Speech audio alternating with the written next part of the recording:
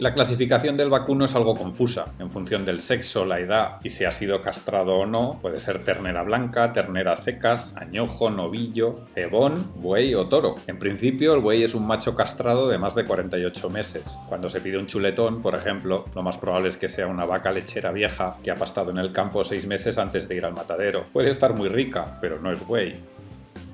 Lomo Alto hace poco que ha abierto y acaba de estrenar concepto en la parte de abajo, que llaman Lomo Bajo. Sirven hamburguesas de buey, así que me acerqué a probarla.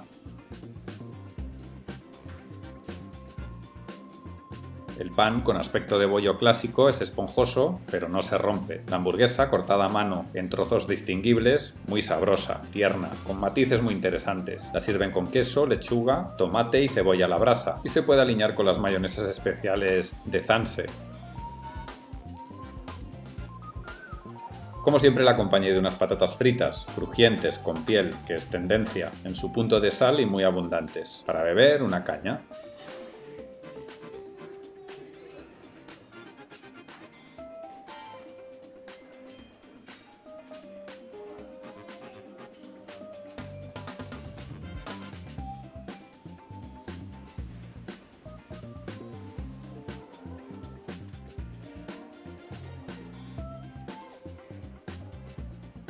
La hamburguesa está a 14 euros y el total fue de 20,50.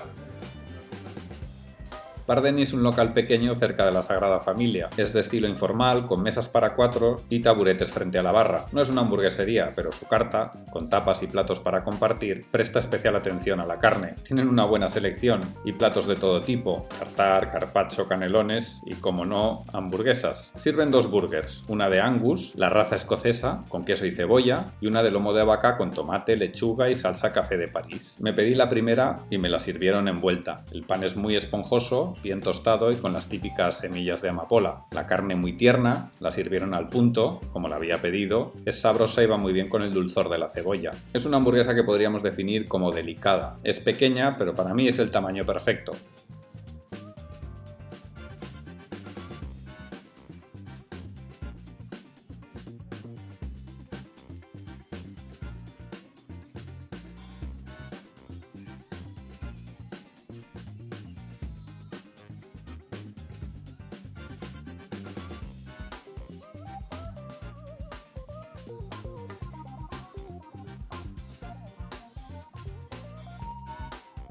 No sirven patatas fritas, así que la acompañé de una caña. Las hamburguesas las sirven a 8 euros y por todo pagué 9,90. Creo que me queda un último vídeo con Bicals y algún otro sitio que me recomendéis.